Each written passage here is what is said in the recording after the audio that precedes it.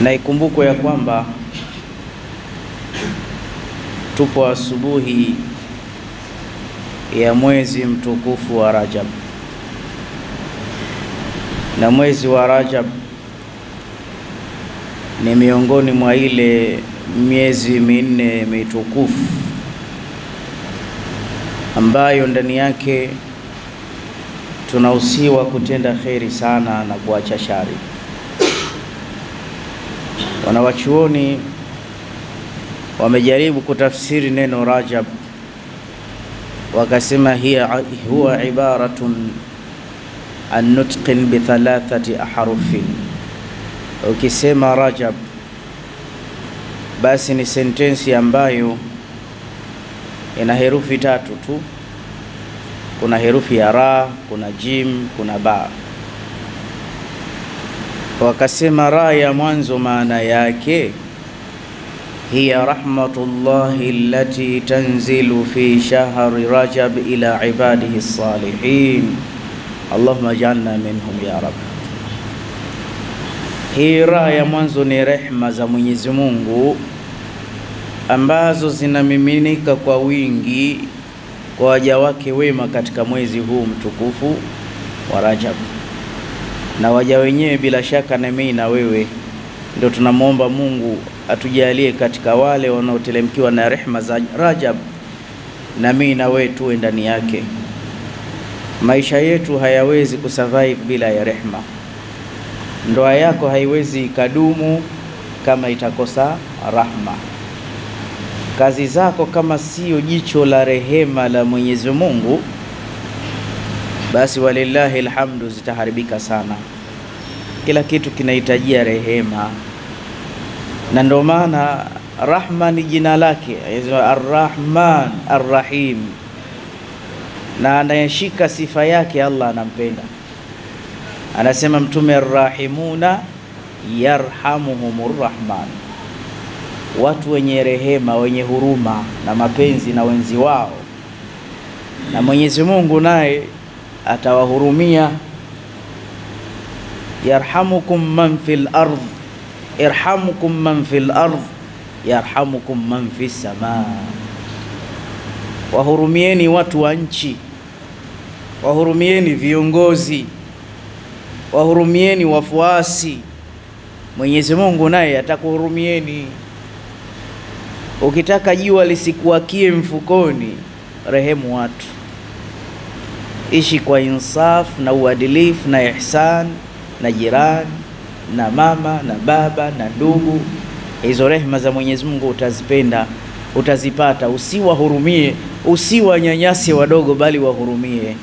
Mtume asema laisa minna man la yarhamu saghirana wa yuwakkir kabirana wa ya'mur bil ma'ruf wa yanha anil munkar walakin falaisa minna,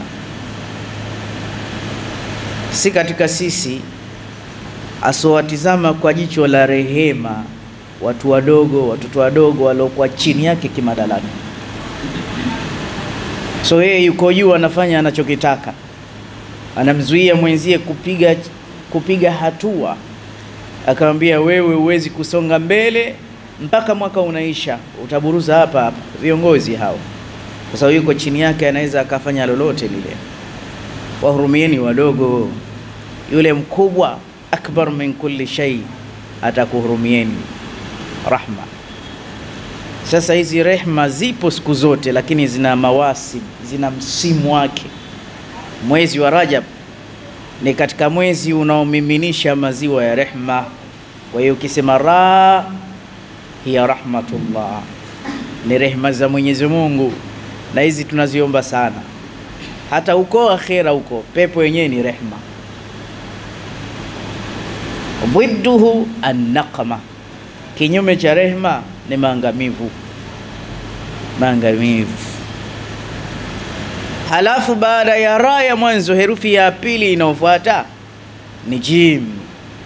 Wanasema wanachuoni, jim ya pili huwa jurmul insan, ni zile dhambi anazozitenda binadamu. Kullu bani adama khata, kila binadamu sifa yake ni kukosa. Hakuna mtu ambaye eti asikose. Wallahi tunakosa sana.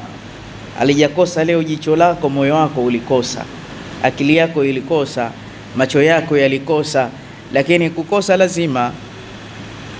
Allah anasema alladhi khalaqa almauta walhaya liyabluwakum ayyukum ahsanu amala wa huwa alazizu alghafur.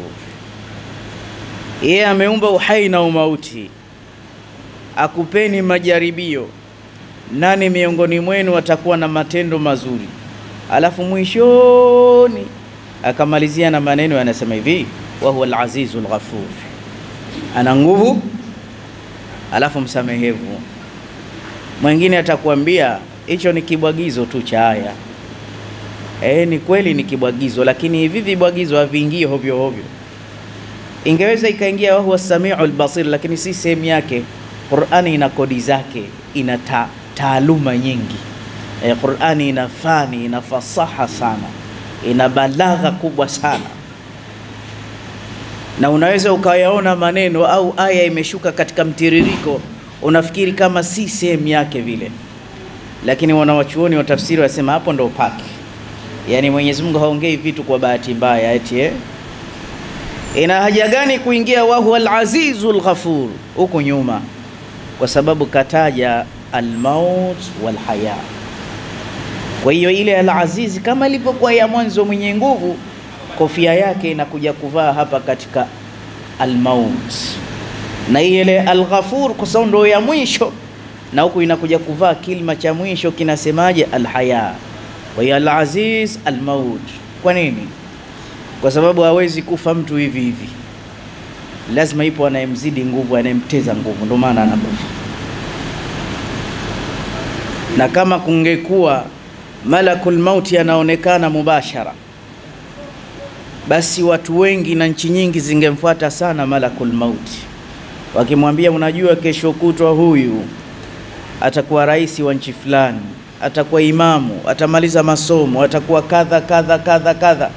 Kwa hiyo shika kidogo kidogo chochote, nenda kamwambie Mwenyezi Mungu, huyu bwana alivyofika tu kakimbia, sijamuona. Lakini hilo halipo. Falme anakufa, sultani anakufa, king anakufa tajiri anakufa, maskini anakufa, imamu anakufa, maamuma anakufa, mdogo anakufa, mkubwa anakufa. Kwa nini? Kwa sababu ya Al-Aziz, yuko anayewazidi watu wote nguvu. Lakini mwisho akamalizia kilma Al-Ghafur, msamehevu. Kwa nini? So nyuma kuna alhaya, uhai, kwamba yoyote wallahi atakayedondokea katika uhai lazima atafanya makosa. Mimi na makosa yangu ya kibinadamu, na wewe unayo, na kila mmoja anajua mwenyewe makosa yake. Unafanya makosa unasema, ah, la haula wala quwwata. Ukikutana na watu wema, niombeeni dua jamani, kwa sababu unayajua. E, na mara nyingine unajizuia, lakini unajikuta unachupa. Sasa Mwenyezi Mungu mapema alivyoleta uhai akaweka tena. Sasa nitakuambia kitu utashangaa, yauma khalaqa samawati wal ardh khalaqa baba tauba qibala sham masirata ardhihi sabiina au arbaina ama, siku inaumbwa mbingu na ardhi, hata mimi na wewe hatujaumbwa bado. Akaumba mapema mlango wa toba, mlango wa kutubia, alafu mlango uko umeelekea Siria, upana wake miaka sabini, la yughlaq, haufungwi hata tatlua shamsu minhu, mpaka jua ligeuke. Baada ya kuchomozea mashariki, likichomozea magharibi, ujue toba huna, una toba. Kwa sababu gani uliumbwa mlango huu? Kwa sababu sisi tutakuja kukosea. Sawa jamani, eh? Naam. Kwa hiyo kila mmoja lazima akosee, na Mwenyezi Mungu katika hadithi Kudus kututia mori, anasema enyi wanadamu mngekuwa mnafanya mema siku zote, hata mnikosei, basi nyi si waja wazuri, ningekuweni nyote. Alafu nkawaleta waja wema, wanafanya makosa kidogo then wanatubia kwangu. Kwa hiyo pia kutubia ni jambo kubwa, Allah analipenda, lakini hii nkututia mori. Anasema sehemu nyingine, yabna Adam, ewe binadamu, lau aataitani, kama utanijia mimi siku ya Kiyama wewe na madhambi, kila dhambi umeifanya, hata Ibilisi hajafanya. Sikiliza wewe uliozini juzi jana, wewe uliofanya kamari, na kuambia usikate tamaa na rehema zake Allah, usikate tamaa. Yani kuna watu wasema, mimi naona hata nsisali tena mwaka kumi huu sina ndoa, mara naziniwa, mara nazini. Usikate tamaa kabisa. Mtume asema inna Allaha yaqbal taubata abidin ma lam yugharghir, Mwenyezi Mungu anakubali toba ya sampuli yoyote maadamu ile roho yako haijafika hapa, ukiomba tu anakupokea. Sasa anasema siku ya Kiyama ukinijia kila dhambi umefanya, kisha ukaniomba msamaha kabla hujafa la ghafartu laka wala ubali. Ili neno la mwisho naomba upigie mstari, la ghafartu laka wala ubali. Hii hadithi qudsi. Ahadithi qudsi ni maneno matukufu ya Rabbul Izza. Basi kwa madhambi hayo, mchafu wewe, muovu wewe, na kusamee. Alafu akaongezea wala ubali, hata sijali kama ushani asi. Chukulia mfano wa kibinadamu yuko mtu unamdai milioni kumi mpaka biashara zako kaziferisha, sasa kakuangusha, kisha unasema ah, basi mida mumeniomba msamaha huwezi kulipa, shakusamehe. Alafu useme neno la pili, hata sijali kama ulichukua we, asijali mtaa mzima kaniangusha, nshamsamehe. Lazima anajali ndani ya moyo, lakini Mwenyezi Mungu wallahi anakwambia laqad fatahta safhatan jadidatan mai wewe ushafungua ukurasa mpya na mimi hata sijali wala sitokuuliza. Huoni Mwenyezi Mungu ni alkarim kweli kweli, alkarim kweli kweli. Lakini kuna watu ni wakali, la ilaha illallah. Kuna watu ni wakali, mkononi mwao wana pepo na moto, ana uwezo muda huo wa kukutia motoni dakika. Mtume sallallahu alaihi wasallam hajawahipo kumtusi, kumkemea kumkejeli mtu kwa dini aliyokuwa nayo hata siku moja, na kuwatia watu motoni. Muoga hawatii watu motoni. Mtu mmoja akuja kumuuliza Mtume, au Mtume anasema kullu ummatin yadkhuluna aljannata illa man aba, ulimwengu mzima wote wanaenda peponi, labda atakayekataa mwenyewe. Wakauliza waman ya aba ya Rasulullah, emtuambie atakayekataa. Akasemaje? faman ataani dakhala aljannata waman asani. Mukabala wa maneno haya, waman asani, atakayenitii mimi peponi, waman asani, atakeniasi. Unajua mukabala yake ni nini?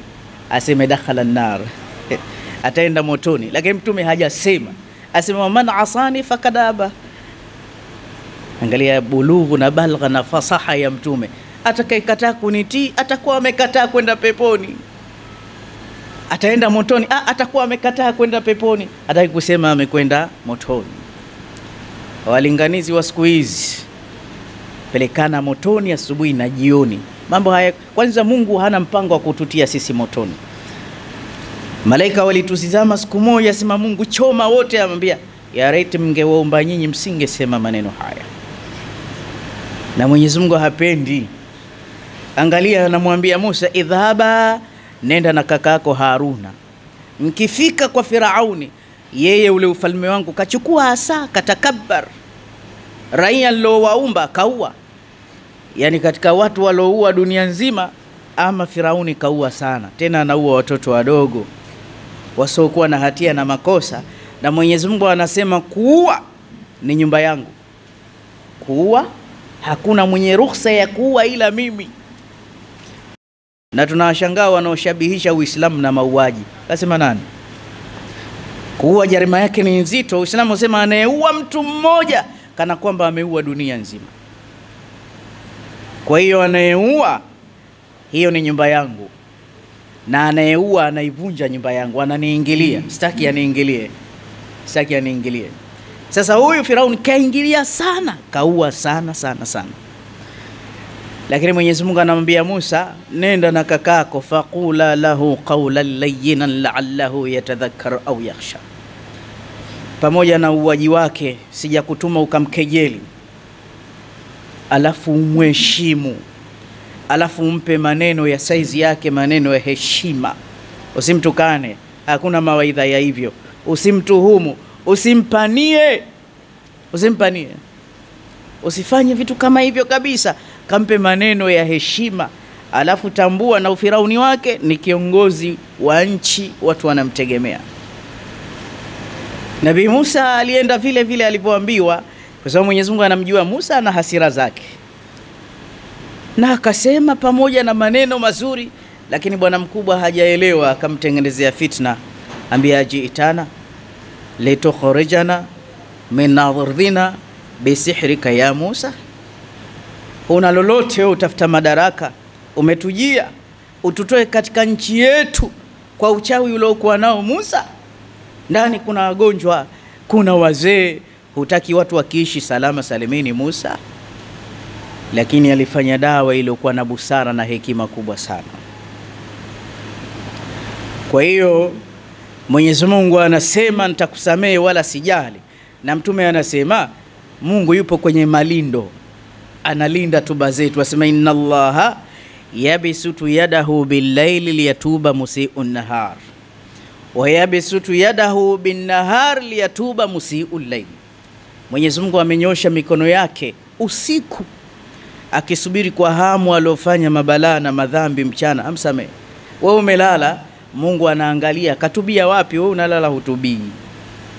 Lakini pia mchana kutwa mpaka sasa hivi amenyosha mikono yake anasubiri kwa hamu aloenda night club na akafanya uchafu wa zinaa angalau watubu kwa Mwenyezi Mungu, Mwenyezi Mungu apate kumsamehe.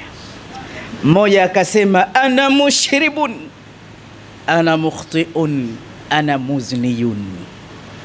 Sasa mimi je, mimi mzinzi, kifagio cha mtaa kama mimi hakuna. Hao wanawake wote mimi ndo daktari wao.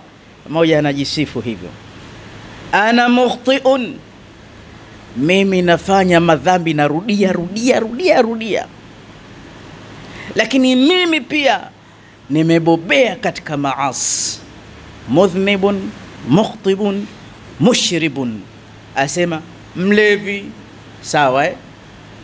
mtenda dhambi, mzinzi. Alivyosema hayo matatu, Mungu naye anasemaje? Ana kafirun ana satirun ana mughfirun, mimi nitakutosha mimi nitakustiri, mimi nitakusamehe. Thalathatu bithalatha. Haya, tushindane, sifa tatu za kiumbe na sifa tatu za muumba. Anaweza akanishinda mimi huyu? Bila shaka Mwenyezi Mungu atakuwa juu. Kwa hiyo kama wewe tabia yako zina sana, Mungu asema ana satirun, nitakusitiri. We sifa yako umefanya hivi, mimi nitakushinda kwa kukustiri. Ana mukhtiun mi nimekosa, narudia rudia. Mwenyezi Mungu ana mughfirun, inna Allaha yaghfiru dhunuba jamia, mi msamehevu. Bila shaka Mungu atashinda katika rehema zake. Kwa hiyo katika jimu ya pili ya mwezi wa Rajab ni jurmul insan, na la mwisho ni birrullah, wema wa Mwenyezi Mungu, baina rahmatillahi wa birri. Kwa hiyo mwanzo rehma za Mwenyezi Mungu, katikati madhambi yetu mwisho wema wa Mwenyezi Mungu, kwamba dhambi zetu zimewekwa mtukati. Yaani kipindi hiki dhambi hazipewi nafasi, zinachomwa moto, zinafukuzwa, zinaunguzwa, wallahi zinachafuliwa na rehema zake Allah pamoja na wema wake. Kwa hiyo maashira sada ni kipindi muhimu cha mwezi wa Ramadhani, fala tudhlamu anfusakum, msizidhulumu nafsi zenu kwa kutenda vitendo viovu na vichafu na vibaya ndani yake, au kutotilia maanani matukufu mengi mema mengi yanayopatikana katika mwezi huu wa Rajab. Na sisi tumepewa miko miko tuliopewa, kuna design ya kuipokea miezi kama hii. Hii miezi hii ni marufuku kuingia katika mwezi ukiwa na shahana, ukiwa na magomvi kifuani mwako ni mushahin. Watu kama umekosana nao, waambie jamani, tusuluhishane. Kama haiwezekani basi tusimamishe ugomvi kwanza, kipindi kitukufu hichi kipite, kwa sababu ni mwiko kuipokea hii miezi na vifundo ndani ya moyo. Lakini pia usiingie na bughdha, acha masengenyo, punguza dhambi, lakini kazana katika ibada. Yani hisi rehma ya Rajab, tunasema utatoka, utatoka. Na leo niongezee kitu kimoja ambacho leo tukifanye sana ndani ya Rajab. Unajua kitu gani? Sio kitu kikubwa kibinadamu, lakini kimungu ni kitu kikubwa, na hili ni jambo kubwa. Dua tu basi. Nasema leo Waislamu, dua zote, mtu yoyote, sampuli yoyote akiiomba inakubaliwa na Allah. Mwenyezi Mungu anapenda kuombwa. Mwenyezi Mungu anawapa mpaka wasiokuwa Waislamu wakimwomba kheri za dunia zao, na haya yamekuja ndani ya Qur'an. Narudia tena, mtu si Muislamu hasali sala tano akiomba Allah anampa, na ameyaeleza ndani ya Qur'an. Mimi na wewe tunayesali, ufikiri itakuwaje? Alafu mimi na wewe ni vipenzi vya Allah na tuna shida, hatujajua kushtaki. Sasa leo nataka tuondoshe zile shida zetu, na umma itakiwa uelekezwe huko. Maombi Mwenyezi Mungu anayapenda sana. Yuko mtu mmoja akiongea lugha yake ya Kihindi, anaomba jiwe, Eloi, Eloi, Eloi, Eloi. Ile kuomba jiwe akakosea, akasema ya Allah. Mwenyezi Mungu amwambia Jibril, mpe alichokiomba. Akaambia la, alikuwa hakusudia Allah, ameteleza. Ambia kwa sababu ameteleza akanitaja, mpe. Angalia Mwenyezi Mungu. Je, wewe ukiomba kwa kukusudia, ndugu yangu Muislamu, ukaazimia kuomba, sasa wanawachuoni wanasema inna lillahi nafahatin fataaradhu biha almubadara. Mwenyezi Mungu ana overtime za kazi anazozitoa. Ukiingia kwenye kampuni, kabla hujaanza kuapply kazi, kuna mambo unauliza hapa, vipi, ziko overtime overtime zipo muda fulani, kuna overtime na zote unaruhusiwa kuingia. Unamkuta mtu ule mshahara mshahara haumshughulishi, ile overtime ni pesa isiyokuwa na mapatano. Overtime ni kitu muhimu sana. Basi Mwenyezi Mungu anatuchukulia kwa kadri ya akili zetu, ameweka overtime. Sasa cha ajabu, overtime za kampuni zako unazijua, overtime za Mwenyezi Mungu huzijui. Ndio maana brother, usogei mbele unakwama. Yaani pale kwenye overtime wewe unaacha unasubiri mshahara, mshahara mpaka kiyama. Hizi overtime ni za kutengeneza mambo ya hapa duniani hapa, na wengi tumeharibikiwa sana. Angalia jua linavyowaka nje, yaani ninavyokuambia, kuna mtu mdakatonge asipotoka analala njaa hapo, hujaugua. Kuna watu leo wanasafa, ana homa, anaenda hivyo hivyo, akukaliki nyumbani. Unakaaje? Kwa mfano hali haikuruhusu, lakini wewe unaye Mungu. Mpango wa Mwenyezi Mungu si Muislamu kuwa maskini, inatakiwa moyoni awepo Mungu na mfukoni iwepo pesa. Huu ndo mpango wa Mungu. Muumini ana enjoy, la tahinu wala tahzan, hana unyonge, hana huzni. Pesa mfukoni ipo na moyoni yuko Allah. Usiwa unakuja hapa mimbari wasema Allah mfanyaji, kaumba jua, kaumba mwezi, fahuwa razzaqu dhul quwwati lmatin, ndo anayetoa ruzuku, kasema ataumba vipando, alafu ukitoka hapa huna nauli, unatembea kwa mguu. Mungu mfanyaji, kakufanyia nini? Amekufanyia nini? Adua. Anakuja bedui anamwambia Mtume sallallahu alaihi wasallam, arabbunha baidan nadainahu imma qariban najainahu. Mimi nataka kuomba yeye Mwenyezi Mungu yuko mbali nianze kumpigia kelele saa hizi, au yuko jirani na mimi nimnong'oneze? Ikaja aya hii, wa idha saalaka ibadi anni fa inni qarib, wakikuuliza waja wangu kuhusiana na mimi Muhammad, mimi siko mbali.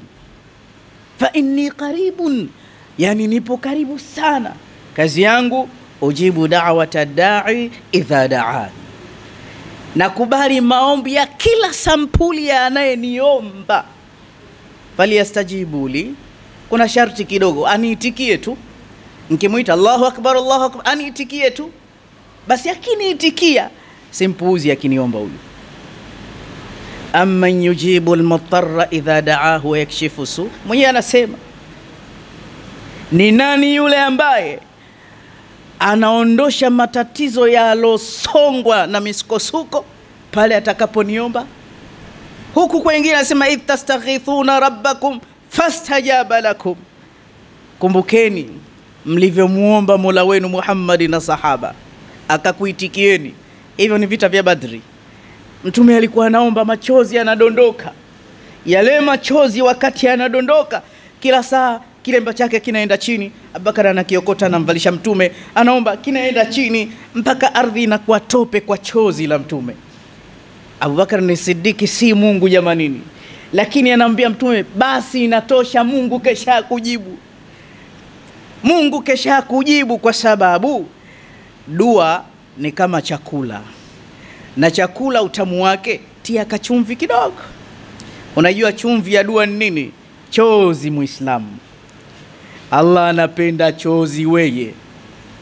Hakuna hata dunia nzima tokea imeumbwa kijiji chochote mtume wao aliomba adhabu ila iliwaangamiza. Miongoni mwao Saina Yunus aliwaombea watu wake adhabu, na adhabu ikapangwa siku fulani inakuja, lakini kabla ile adhabu haijaja, hawa watu wakatoa machozi wakamlilia Allah. Mungu kabadilisha system. Yunus mwenyewe alayhi salam alishangaa, haya mambo alioniahidi Mungu vipi? Ambia wapo watu washafanya yao, wewe Yaani kama wewe Yunus ulikuwa unajua hivi, watu wengine wamejua za hivi. Shaongea na Mungu, Mungu kabadilisha system. Nani mwenye karama kama Nabii Musa? Mama mmoja na mmewe waambia Musa, tumezunguka tumemaliza miti shamba, waganga tumemaliza, mke wangu tasa hana uzazi, hembu katuulizie kwa Mwenyezi Mungu Rabbul Izza. Alivyofika kule akaambia, ndo hivyo, mume mgumba, mke tasa, amna kizazi, waishi tu hivyo hivyo. Anapita mja wa Allah, wali wa Mungu, akakirimiwa na nyumba ile. Anamuuliza mwanamke yule, mna shida yoyote? Ambia shida ipo, lakini haiwezekani. Nabii wa Mungu, Mungu keshamweleza, sisi shida yetu watoto, hatuna mengine, ayo ya dunia Mungu keshatupa. Akaambia mtapata. Ambia we, nabii wa Mungu kaambiwa na Mungu mwenyewe basi mja wa Allah akajificha pahala akatoa machozi. Mwenyezi Mungu, wewe unapenda chozi katika dua. Ad'uka kama amartani, na mimi ninakuomba kama ulivyoniamrisha.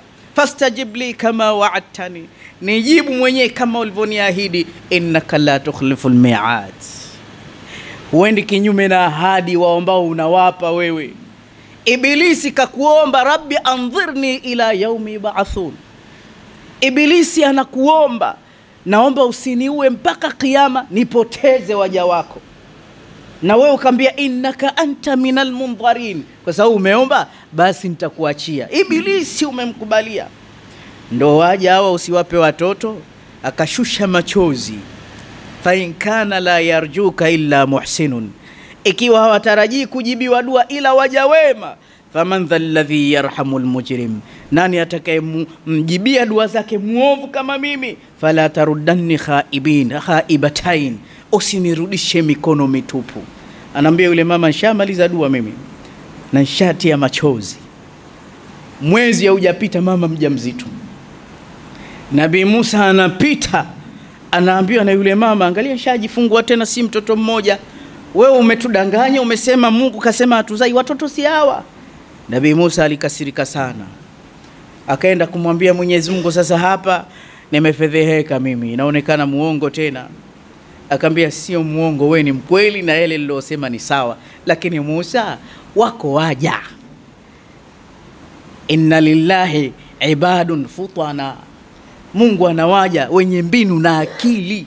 Hao wakaniomba hao, siwezi ku, wanasema lugha ya leo, siwezi kuchomoa Yani unaweza ukaenda kwa bosi akampa huyu na we hakupi, inategemea zile swaga zako umeendaje wewe. unajua kuomba? Si unajua hata zile barua za maombi application, mpaka unaenda kumtafuta msomi wa chuo, bwana, niandikie, nataka kuapply kazi. Ile leta ile barua ulivyoiandika, wenyewe wakiona sasa, huyu mpeni kazi, kumbe hata hujaandika wewe. Andika ovyo ovyo, uone huyu bwana hana lolote, msimpe kazi. Ile barua tu yenyewe, kwa sababu inaenda kwa wakuu, wakiona huyu tunamtaka, utatafuta hati nzuri, kwa sababu unaomba. Na wewe unaomba nini? Unajua kuomba? Basi kuna waja wakiniomba siwezi kuwanyima.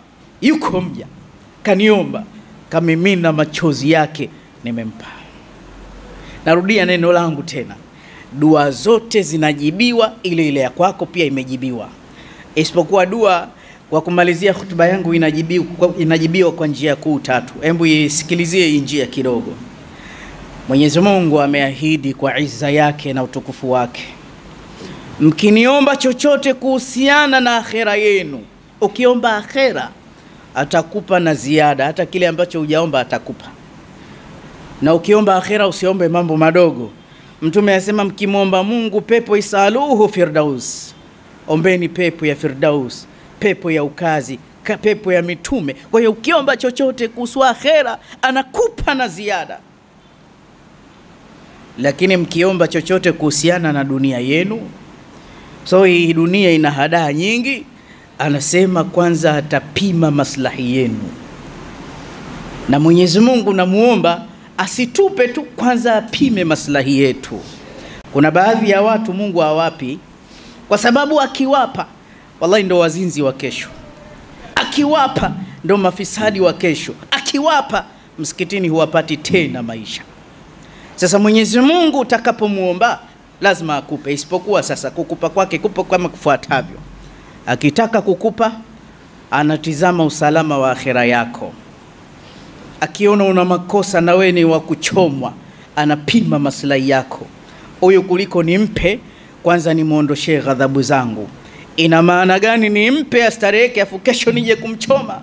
Kwa sababu Mtume anasema yule mtu ambaye atapewa kila kitu cha kidunia hana jekejeke wala kutamani, akichukuliwa baadaye, akiingizwa motoni sekunde moja tu kisha akatolewa, anaulizwa, ishawahi kupita raha yoyote wewe katika dunia? Ushawahi kupata pesa? Atasema, ya Rabbi, sijawahi kupata raha maisha, mitokea kuzaliwa mateso mpaka leo motoni. Yaani sekunde moja ya motoni ishamsahaulisha neema zote hizi. Kwa hiyo ukiomba kwanza anamaliza balaa zako hizi. Ukiendelea kuomba anazidi kumaliza zile balaa, mwisho utaomba zile balaa zitaisha. Zikishaisha zile balaa, unaomba tena, anataka kupurulia, anaangalia kadari uzokadiriwa. Umekadiriwa wewe ugongwe na bodaboda, ukatike mguu, lakini usife. Hii ni dhiki kubwa sana.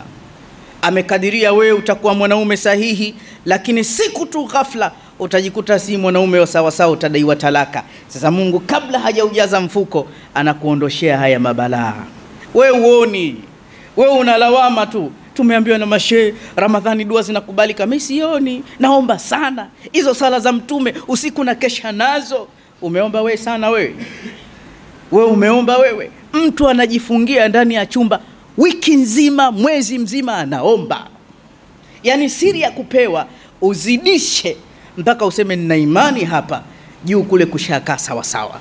Si sisi tu, wallahi, masahaba masahaba ilianza hivyo hivyo mpaka wakatingishika. Mtume walladhina amanu ma mtume na waumini wanahoji mata nasurullah Yani sahaba akaenda kwa mtume katika vita vya Handak amefunga ji, jiwe tumboni kwa njaa, na pepesuka, ambia haya, mata nasrullah, hiyo nusra ya Mungu tumeambia, inna lanansuru rusuluna walladhina amanu, eti watanusuriwa mitume na waloamini Iko wapi nusra? Tunakufa na njaa ya Rasulullah. Mtume naye anafunua tumbo lake, yeye kafunga mawe mawili, yani njaa yake kali zaidi kuliko sahaba. Asema ala inna nasrullahi karib, nusra inakuja. Abu Huraira anasema alikuwa akidondoka chini, yani kama mtu wa kifafa usra, watu wanamwekea mguu, yani mtu wa kifafa ukimwekea mguu shingoni, ile harufu ya miguu yako anaamka, anapata nafuu. Basi watu wanamkanyaga, ndo tiba ya zamani, wanajua kifafa. Sahaba mtume ana kifafa. Ambia wallahi haikuwa kifafa njaa. Haya siku mbili tatu ajala. Wakaambiwa zidisheni. Maslahi yao ya akhera ilivyokaa sawa mwenyezi mungu fataha lahum aba barakatin minas sama hapo mwenyezi mungu akaanza kuwamiminia baraka za mbinguni. Unafanya mchezo nini? Mpaka wale mabinti wa kifalme wakawa mahausigeli wao. Abu Huraira yuko mezani anakula anafuta mikono na kitambaa cha hariri analia machozi anasema mm, kufunguliwa gani huku isije ikawa ndo tunalipwa hapa. Hapa huko hakuna kitu. Ambia huko kushakamilika. Hizo ni baraka tu hizi. Hivi unaamini kuna kipindi inafikia mungu anaanza kukufungulia? Wallahi mpaka ukiokota hata matakataka unapata pesa. Kila unalolifanya mambo yanakuwa tiki tu. Wanasema hujakomaa sawasawa. sawa kwa hiyo mwenyezi mungu akiona akhera huna balaa na mitihani aliokukadiria hapa umeiondosha kwa dua kwa sababu la yaruddu lqadar illa bidua kadari siku zote zinarudishwa na dua. Sasa ukiondosha hii mitihani huna unamwomba mungu. Sasa anataka kuondosha balaa zako mbinguni akuta zishaondoka anataka kukuondolea mitihani na kesi zako anakuta huna. Kilichobakia nini? Ni kupewa tu. Ndo pale utakuta rakaa mbili zako zina thamani. Unasema wapo watu sijawahi hata siku moja kumwomba mungu asinipe. Yaani wewe ndio unaanza kuingia kwenye yale mafungu ya dua. La ilaha illa anta subhanaka inni kuntu minadh-dhalimin. Ukisoma mara mia moja na kumi basi lolote uloomba ndani ya masaa kumi na mbili lazima upewe unaliona unapewa. Na ukimwombea mtu anapewa kwa sababu wewe tayari ushavuka hiyo linki. Una martaba ya hali ya juu. Anayemsalia mtume mara mia kwa siku ataondoshewa shida kumi. Wallahi unafanya kuzihesabu hii na hii na hii na hii na hii zimeondoka. Yaani unaingia kwenye ahadi kwa sababu umekwenda na tageti wewe umemshiba allah vizuri imani inaokoa. Sasa hizi dua hizi kuomba zina mlolongo wake. Na hizi dua kuna kipindi ukiomba lazima uwe unaelewa Muislamu uwe unaelewa. Si kwamba haya tunayoyafanya kila siku inaenda mbinguni kakwambia nani hizi sala zote hizi hizi za, za wiki nzima zote muallaqun baina sama zimetundikwa hapo. Zinapanda siku moja tu. Unajua siku gani? Alhamis. Alhamis mtume anapenda kufunga akaulizwa kwa nini siku ya alhamisi unafunga? Ambia kwa sauni yaumun turadhu amalu ibadi, matendo dua sadaka za watu siku ya alhamisi ndo yuftah abwaba sama zinafunguliwa sasa na mimi nasindikiza na swaumu nitajike kumbe leo amefunga. Kwa hiyo anayeomba alhamisi dua yake ipo karibu lakini sasa kuna matatizo mengine hayasubiri alhamisi. Wewe una kesi kesi yenyewe jumatano alhamisi bado. Sasa nataka haraka haraka hizi ripoti zijibiwe. Fihi nafahat ndo kuna ile mida sasa ya ofa. Baada ya sala ya faradhi ukiomba dua pale hairubi, haisubiri alhamisi. Moja kwa moja inatoboa. Kati ya adhana na, na, na, na ikama. ukiomba dua pale pale moja kwa moja inatoboa. Siku ikinyesha mvua kila tone moja linashuka na malaika. Ukiomba dua pale pale inatoboa. Lakini kipindi kama hiki cha rajab ukiomba mamia ya dua hayasubiri yanakwenda. Na dua yake inakuwa si dua kama ya miezi ya kawaida sasa imeingia hii rajab tuvune waislamu tuondoshe matatizo yetu tunamwomba mungu atakabali dua zetu وقال عز من قائل عليم فإذا قرأت القرآن فاستعذ بالله من الشيطان الرجيم أعوذ بالله من الشيطان الرجيم إن عدة الشهور عند الله اثنا عشر شهرا بارك الله لي ولكم بالقرآن العظيم ونفعني وإياكم بالآيات والذكر الحكيم أقول قولي هذا واستغفر الله لي ولكم فاستغفروه إنه هو الغفور الرحيم وهو البر الكريم Waislamu hakuna kutwawilisha tena ila na kuomba tu katika njia za kuomba dua fanya mambo haya matano tu tuwe tumeifunga hutuba yetu ahibba linnasi ma tuhibbu linafsik penda wapate watu yale unayoyapenda kwa nafsi yako binafsi nayapenda mambo haya na ninayaona yamenipeleka ukurasa mwingine kabisa kwanza kuna baadhi ya dhambi ambazo ukifanya adhkari hizi zinaondoka kwa sekunde. Dhambi ndo zinazotuchelewesha, na sisi nasema ni binadamu, lazima tukosee. Wezi moja kwa moja kujichunga na dhambi, unajikuta tu ushateleza. Sasa kuna baadhi ya vitu vinaunguza dhambi kwa haraka. Fanya istighfari za aina nne hizi. Ukiamka asubuhi, istighfari ya mwanzo sema hivi: la ilaha illa Allah wahdahu la sharika la lahu lmulku wa lahu lhamdu yuhyi wa yumitu wa huwa ala kulli shay'in qadir. Atakayesoma adhkari kwanza anapewa ulinzi na shetani siku nzima. Atakayefanya adhkari hata ana dhambi za kujaza bahari. Yani nasema hivi, kasema Mtume katika hadithi sahihi, ukiisoma hii sema sina dhambi. Maana kuna mtu bado hajiamini. Kuna mambo mawili, kuna khaufun wa rajaa. Yote Muislamu ni mpango wa imani, lazima uwe hivyo. Kuna kipindi lazima uwe na hofu na Mungu, lakini kuna kipindi itakiwa uwe na matumaini, ujipige kifua mbele, mi msafi, Mungu kanisamee. Sasa zishakuja hizi bado, ah, she na wasiwasi, si ushasoma? Ya pili, subhanallah bihamdihi subhanallahi alazim. Hii ukiisoma hii, kwanza Allah anaipenda Pili, inajaza mizani yako uzito mkubwa. Tatu, Mtume anasema uwe na madhambi mithlu zabadul bahar, kama bahari nzima, uelewe huna dhambi mara mia tu. Hii ina tabu gani? Hata hizo zingine siongezi, hizi mbili tu zinatosha.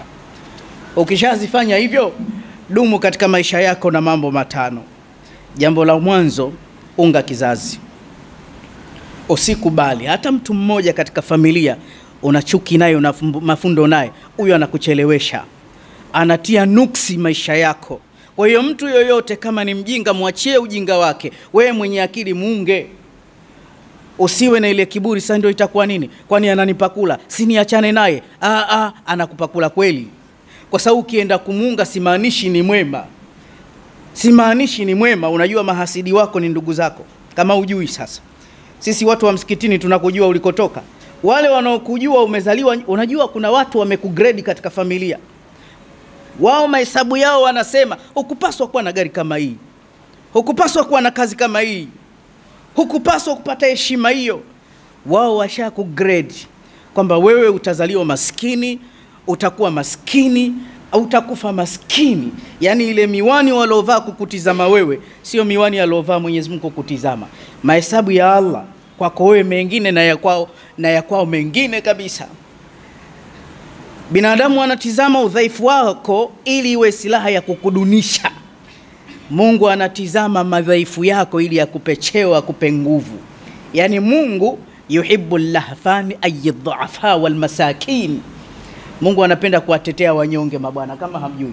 Yaani anaodili nao Mungu wanyonge kuna mnyonge kama Mtume sallallahu alaihi wasallam, yatima, hajui kusoma chenye kuandikwa. Huyo ndo kamfanya mtawala wa ulimwengu mzima. Katizama madhaifu yake. Mungu hakutizami hata darasa saba umefika hujafika. Mungu atizami, wanaotizama ni watu. Hii nyumba ya kimaskini atakuwaje na hela huyu? Kaiba tu huyu, umeiba wapi? Sasa Mwenyezi Mungu subhanahu wa taala, hawa watu wanakukosea, anataka uwaunge Maka utapata tabu. Ah, yani yule ndugu yangu kabisa ananiongelea hivi. Sasa wewe tembea naye kwa wema, ufungue yako, yeye ataendelea kuchemsha. Kwa hiyo unga ndugu, ili jambo la pili. Jambo la tatu, msalie sana Mtume sallallahu alaihi wasallam. Lakini jambo la nne, yako mengi, niishie la nne, muda hauniruhusu. La nne, naomba usimame qiyamu laili, thuluthi ya mwisho ya usiku. Mimi sikwambie hata sali rakaa kumi naomba usali mbili tu. Ukisalimia shauri yako ni wewe mwenyewe. Nataka mbili tu uzisali, na ninakuonesha zinasaliwaje. Namaliza khutba. Hizi ni bomu hizi, au masahaba shida ya chumvi mpaka kujenga ghorofa. Hizi raka mbili hizi, hizi raka mbili si mchezo. Fa idha hazama al-amr, Mtume alikuwa akipata pupa na hofu ya jambo, anakimbilia raka mbili hizi upepo mkali ukivuma, anakimbilia raka mbili hizi. Na wewe si umefukuzwa kazi ndugu yangu? Na wewe si umepewa kesi ndugu yangu? Hizi hizi, haya ni mawasiliano. Assala hiya alwasila baina alabdi wa rabbi. Ukisimama usiku sali raka mbili ile kuelekea alfajiri, zinaitwa salatul haja. Raka ya mwanzo baada ya suratul Fatiha soma qul ya ayuha lkafirun. Raka ya pili baada ya suratul Fatiha soma kul huwallahu ahad. Zina siri hizi, kisha toa salamu. Ukitoa salamu, ombe ile dua ambayo Mtume anaipenda kuliko dua zote, iombe mara tatu. Dua yenyewe rabbana atina fid dunya hasana wa fil akhirati hasana wa qina adhaban nar, iombe mara tatu. Ukishaiomba mara tatu, sujudu tena, japo ulitoka kwenye swala, sujudu tena, sujudu. Yani mja anasogelewa karibu na Mungu, sio katika kiamu wala itidali, sijida. Yani ukitafuta kitu ambacho Mungu anaku wenyewe wanasema, ukisoma Qur'ani unaongea na Mungu kama mimi ninavyoongea na nyinyi, lakini ukiwa ndani ya sijida huongei naye, unanong'ona naye. Sasa pale ukisujudu, anasema ud'u rabbakum wa antum muqinuna bil ijaba, mwombeni mola wenu afu mkiwa na hisia kwamba fakaminun an yustajaba lakum hapa lazima ataitikia. yani Mwenyezi Mungu hakubali dua ya moyo ulioghafilika. Ukimtumaini lazima akupe kwa kadri ya imani yako. Sasa pale katika sijida pale, omba unachokitaka kwa lugha unaoijua. Jifunze kupanga maneno ya kumfurahisha Allah. Nikupe siri sasa, usipate tabu. Si tuna maneno gani? Chukua maneno ya wasomi. Wasomi wenyewe kina nani? Mitume. Yaani yale waloomba, na we omba hayo hayo, usiombe mengine. Angalia dua ya Nabii Musa, angalia dua ya Nabii Ayub, angalia dua ya nabii fulani, na we ingiza mle mle. Nabii Musa si alisema rabbi ma anzalta ilayya min khairin fakir, kusema neno hilo tu katika mwezi huu wa Rajab. Hilo neno alipolisemea Mtume, kituo cha mwanzo anatoka Maka anaingia Tib. Alivyotoka Twiba pale Madina, akapelekwa inda shajarati Musa, akaambia sali raka mbili atadri aina sallaita, unajua umeswalia wapi? Ambia mshaarifu, mimi sijui.